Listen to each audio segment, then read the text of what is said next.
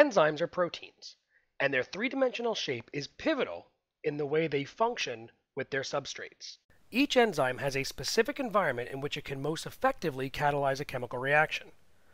Two important environmental conditions inside the body are temperature and pH. Changes in these conditions can break the weak bonds that hold the enzyme's protein structure in its three-dimensional shape.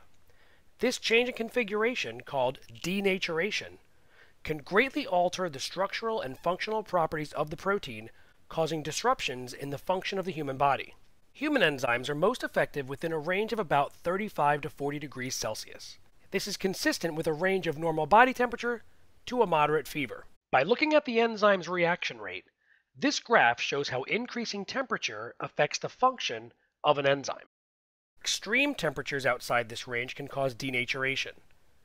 One example is when heat is applied to egg whites. The temperature causes a configuration change that alters the protein, changing it from runny and clear to stiff and white. When this happens to human enzyme proteins, they can permanently lose their function. Enzymes also function most efficiently at their optimal pH. While most function best at a pH of about 6 to 8, many are dependent on their location in the body. For example, enzymes in the stomach like a very low pH.